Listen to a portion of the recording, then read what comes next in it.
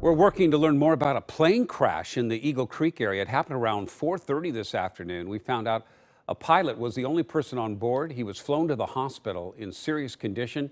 Deputies tell us it appears the plane crashed on takeoff from a private airfield. The crash started a small fire in the trees and shrubs that was quickly put out.